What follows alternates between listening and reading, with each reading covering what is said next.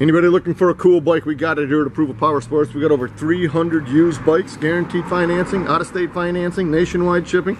This one is a 2012 Honda Fury. Uh, good looking bike, comes in matte black.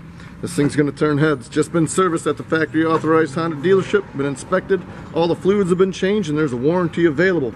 Stand out from the crowd on this flat black Honda Fury. Good looking bike, guys.